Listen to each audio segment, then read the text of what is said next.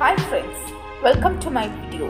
In this video, we are going to see about classification of bacteria based on nutritional requirements. Classification of bacteria based on source of energy. As I told you, sunlight and chemical compounds are the two major sources of energy. Bacteria which derive their energy from sunlight are called phototrophs. Bacteria which derive their energy from chemical reactions are called chemotrophs. Classification of bacteria based on sources of electrons.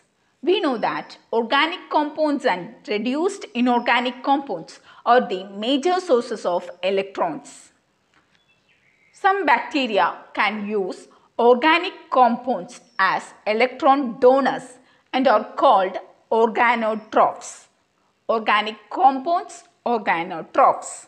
Some bacteria can use reduced inorganic compounds as electron donor and are called lithotrophs. Classification of bacteria based on source of carbon. Carbon dioxide and organic compounds are the sources of carbon. Bacteria which can use carbon dioxide as their major source of carbon are called autotrophs.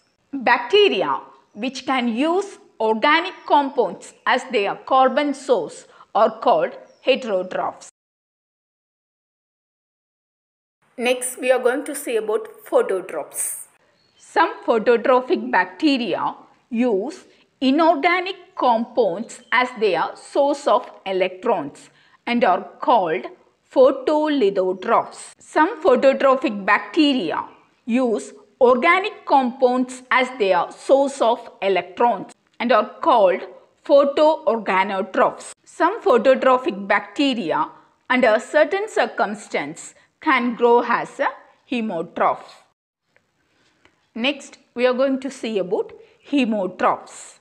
Some chemotrophic bacteria can use inorganic compounds as their source of electrons and are termed chemolithotrophs.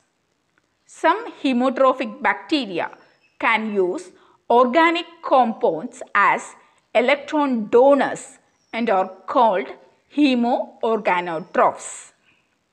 Some bacteria can grow as either chemolithotrophs or chemoorganotrophs.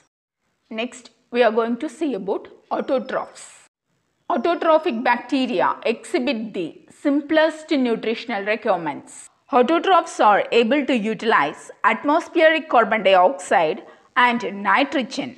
Autotrophs can transform a mixture of inorganic compounds into the carbohydrates, proteins, nucleic acid, lipids, vitamins, etc. Autotrophs plays an important role in cycling of elements through biological system.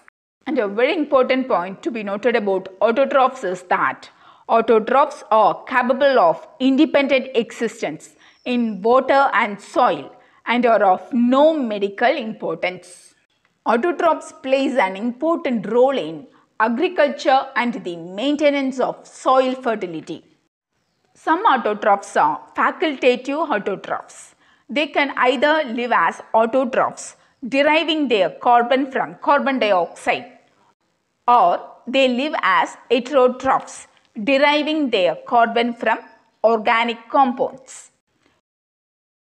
Some autotrophic bacteria derive their energy from sunlight and are called photoautotrophs. Photoautotrophs have chlorophyll pigment to capture sunlight.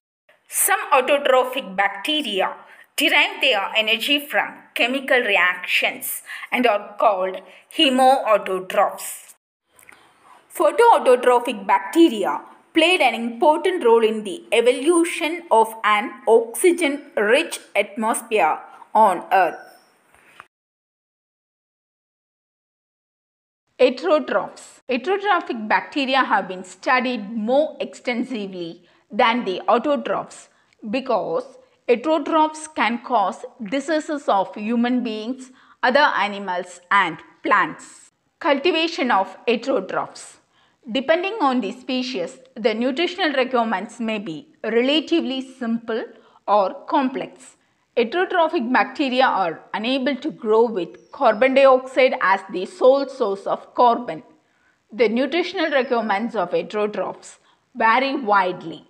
Some may require only a single organic substance such as glucose, while others may need a large number of different I'm compounds concluding my video here. amino And see you acids, soon in my nucleotides, lipids, carbohydrates and coenzymes.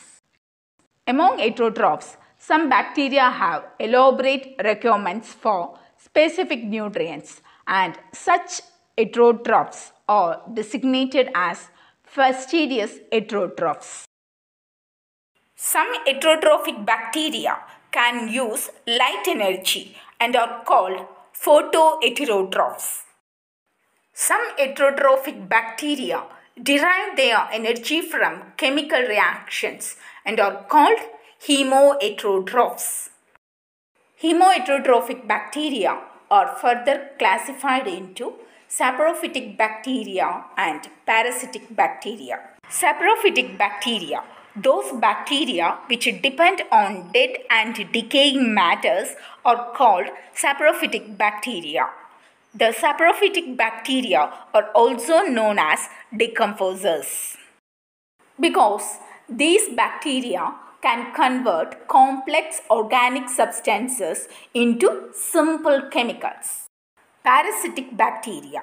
Parasitic bacteria obtain their nutrition from the host tissues on which they grow. Some are harmless and some causes serious diseases in plants, animals and humans.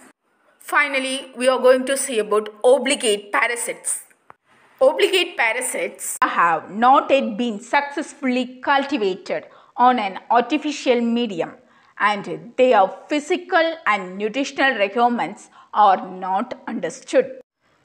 As I told you in my first video, microbiology is the field of science with immense scope. So, learn it, make great discoveries, and help the field to grow. Thank you, friends.